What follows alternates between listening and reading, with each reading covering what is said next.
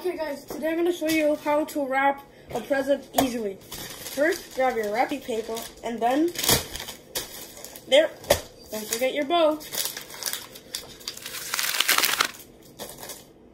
Ta-da!